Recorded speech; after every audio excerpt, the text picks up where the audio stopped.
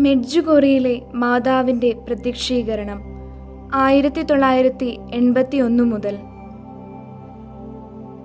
ആധുനിക കാലത്തുണ്ടായ മരിയൻ പ്രത്യക്ഷീകരണങ്ങളിൽ വെച്ച് അന്തർദേശീയ ശ്രദ്ധ വലിയ തോതിൽ പിടിച്ചുപറ്റിയ ഒന്നാണ് ബോസ്നിയൻ കുന്നിലുള്ള മെഡ്ജുഗോറി പട്ടണത്തിലുണ്ടായ മരിയൻ ദർശനങ്ങൾ.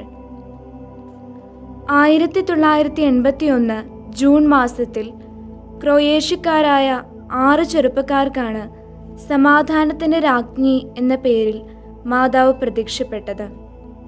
മരിജ വിക്ക ഐവാൻ മിർജാന ഐവാൻക യാക്കോവ് എന്നിവരായിരുന്നു അവർ.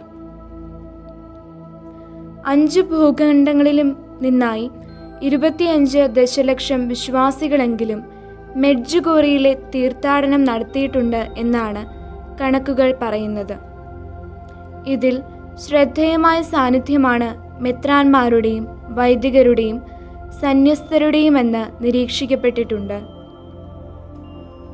മെഡ്ജുഗോറിയിൽ സമാധാന രാജ്ഞിയായ പരിശുദ്ധ മറിയം നൽകിയ സന്ദേശങ്ങൾ അഞ്ച് പ്രധാന വിഷയങ്ങൾ കേന്ദ്രീകരിച്ചുള്ളതാണ്.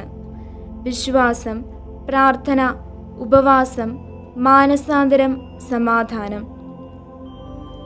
ഏകസത്യദൈവത്തിലും അവിടുത്തെ പുത്രനായ യേശുക്രിസ്തുവിലുമുള്ള വിശ്വാസത്തിൽ ഉറച്ചു നിൽക്കണമെന്ന് പരിശുദ്ധ മാതാവ് ആവശ്യപ്പെടുകയുണ്ടായി.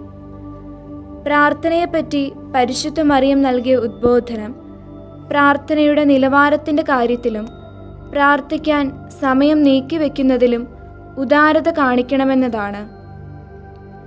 പ്രതിദിന ദിവ്യബലി അർപ്പണത്തിന് പുറമെ പരിശുദ്ധ കുർബാനയെ ആരാധിക്കാൻ ദിവസവും സമയം കണ്ടെത്തണമെന്നുള്ള സന്ദേശവും നൽകപ്പെട്ടു. ജപമാലയുടെ മുഴുവൻ രഹസ്യങ്ങളും പ്രതിദിനം പ്രാർത്ഥിക്കണമെന്നും കൂടെ കൂടെ വിശുദ്ധ ബൈബിൾ പാരായണം നടത്തണമെന്നും ഈശോയുടെ തിരുഹൃദയത്തിനും മാതാവിന്റെ വിമല ഹൃദയത്തിനും ജീവിതം പ്രതിഷ്ഠിക്കണമെന്നും മാതാവ് ആവശ്യപ്പെട്ടു. ഉപവാസം സംബന്ധിച്ചു നൽകപ്പെട്ട സന്ദേശം പാപികളുടെ മാനസാന്തരത്തിനായി ആദിമസഭയിലെ പാരമ്പര്യപ്രകാരം ബുധനാഴ്ചയും വെള്ളിയാഴ്ചയും കർശനമായ ഉപവാസം എടുക്കണമെന്നാണ് മാനസാന്തരത്തിനുള്ള ആഹ്വാനത്തിൽ അടുത്തടുത്തുള്ള കുംഭസാരത്തിന്റെ കാര്യം വളരെ പ്രാധാന്യത്തോടെ എടുത്തു പറയുകയുണ്ടായി. മെഡ്ജുഗോറിയിൽ വരുന്ന തീർത്ഥാടകരെല്ലാവരും വിശുദ്ധ കുംഭാസ് കുംഭസാര കുദാശ സ്വീകരിക്കാൻ ശ്രദ്ധിക്കാറുമുണ്ട്. നൂറുകണക്കിന് വൈദികരാണ് ദിവസം മുഴുവൻ തീർത്ഥാടകർക്കായി അവിടെ കുംഭസാര കുദാശ പരികർമ്മം ചെയ്യുന്നത്. ഫാത്തിമ കഴിഞ്ഞാൽ ഇരുപതാം നൂറ്റാണ്ടിനെ പിടിച്ചുകുലുക്കിയ പുണ്യസ്ഥലമാണ് മഡ്ജുഗോറി അവിടെ ആയിരത്തി തൊള്ളായിരത്തി എൺപത്തി ഒന്ന് മുതൽ പരിശുദ്ധ അമ്മ പ്രത്യക്ഷപ്പെട്ടുകൊണ്ടിരിക്കുന്നു. സഭയുടെ ഔദ്യോഗിക അംഗീകാരം ലഭിക്കാത്ത ഈ പുണ്യസ്ഥലത്തേക്ക് കർദിനാളന്മാർ അടക്കമുള്ള സഭയുടെ നേതാക്കന്മാർ തീർത്ഥാടകരായി എത്തുന്നു. ആയിരത്തി തൊള്ളായിരത്തി എൺപത്തി ഒന്ന് ജൂൺ ഇരുപത്തിനാലിന് മഡ്ജുഗോറി ഇടവകയിലെ ബിജാകോവിച്ചി ഗ്രാമത്തിന് സമീപമുള്ള പോദ്ബ്രോദോ മലയിൽ പ്രകാശത്തിൽ കുളിച്ചു നിൽക്കുന്ന ഒരു സ്ത്രീ രൂപം കാണപ്പെട്ടു.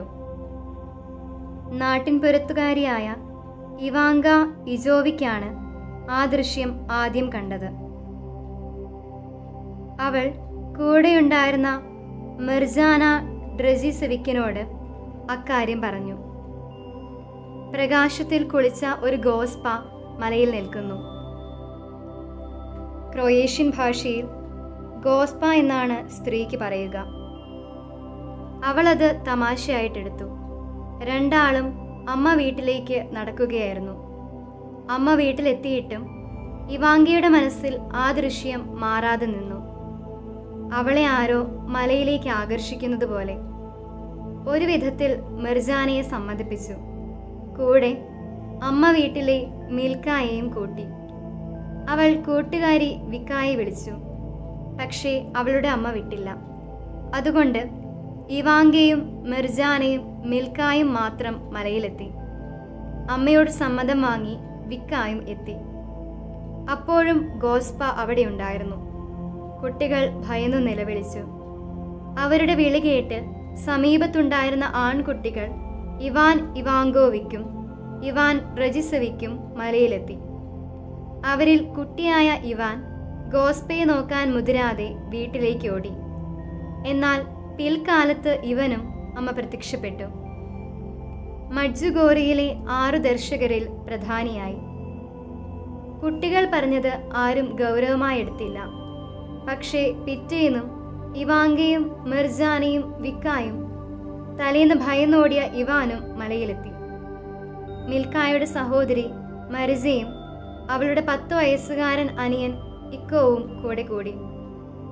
അന്നും കുട്ടികൾ ഗോസ്പയെ കണ്ടു. ഒപ്പം ചെന്ന മുതിർന്നവർക്ക് കാണാനായില്ല. ലോകസമാധാനത്തിനായി ദിവസവും വിശ്വാസ പ്രമാണവും ഏഴ് സ്വർഗസ്ഥനായ പിതാവേയും ഏഴു നന്മ നിറഞ്ഞ മറയവും ഏഴ് ത്രിത്വസ്തുതിയും ചൊല്ലണമെന്ന് അമ്മ ആവശ്യപ്പെട്ടു.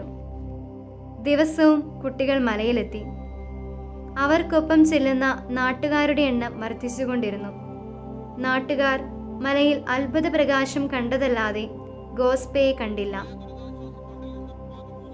കമ്മ്യൂണിസം പിടിമുറുക്കിക്കൊണ്ടിരുന്ന ആ നാട്ടിലെ ജനങ്ങളോടായി അമ്മ കുട്ടികളോട് പറഞ്ഞു ഞാൻ ഇവിടെ വരുന്നത് ഇവിടെ ധാരാളം ദൈവവിശ്വാസികൾ ഉള്ളതുകൊണ്ടാണ്.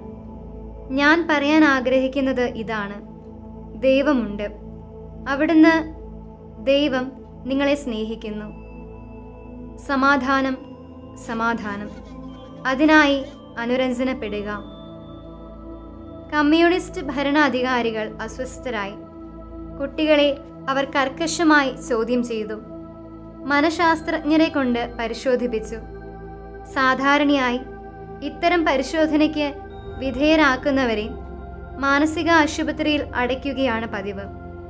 എന്നാൽ കുട്ടികളെ മാതാവ് രക്ഷിച്ചു. ഡോക്ടർമാർ അതിന് തയ്യാറായില്ല. പിറ്റേന്ന് പ്രത്യക്ഷപ്പെടലിന്റെ സമയമായപ്പോൾ അധികാരികൾ കുട്ടികളെ തട്ടിക്കൊണ്ടുപോയി. എന്നാൽ നാട്ടുകാർ വാഹനം തടഞ്ഞു. സഭാ അധികാരികളും കുട്ടികൾക്കെതിരായിരുന്നു. ആയിരത്തി തൊള്ളായിരത്തി എൺപത്തി ഒന്ന് ജൂലൈ ഒന്ന് മുതൽ അമ്മയുടെ പ്രത്യക്ഷപ്പെടൽ ഇടവക ദേവാലയത്തിലായി. പള്ളിക്കകത്തോ പരിസരത്തോ നടക്കും.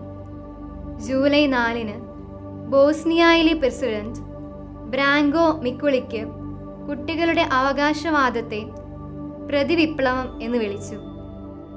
കുട്ടികളെ എതിർത്തില്ലെങ്കിൽ തടവിലാക്കുമെന്ന് മെത്രാനോടും വികാരിയോടും ഭീഷണി മുഴക്കി. ഓഗസ്റ്റ് പതിനേഴിന് വികാരിയെ പോലീസ് അറസ്റ്റ് ചെയ്തു. എന്നാൽ മലയിലേക്കുള്ള തീർത്ഥാടന പ്രവാഹം തുടർന്നു. അധികാരികളെ ഭയന്ന് ബോസ്നിയയിലെ മിത്രാന്മാർ പ്രത്യക്ഷപ്പെടലിനെ അംഗീകരിക്കുവാൻ വിസമ്മതിച്ചു. എന്നാൽ ആയിരത്തി തൊള്ളായിരത്തി എൺപത്തി ഒന്നിൽ സഭയുടെ വിശ്വാസ തിരുസംഘം secretary archbishop Tarcisio Bertone Medjugorje പോളണ്ടിലെ Czestochowa എന്ന പോലെ പുണ്യസ്ഥലമാണെന്ന് പ്രഖ്യാപിച്ചു. മഡ്ജുഗോറിയിലെ പ്രത്യക്ഷപ്പെടലുകൾ ഇന്നും തുടരുന്നു. ആറു ദർശകർക്കും പത്ത് രഹസ്യം വീതം ലഭിക്കുന്നതുവരെ അത് തുടരുമെന്നാണ് ഗോസ്പ പറഞ്ഞിട്ടുള്ളത്. മൂന്ന് പേർക്ക് ഇതിനകം പത്ത് രഹസ്യങ്ങൾ ലഭിച്ചു കഴിഞ്ഞു.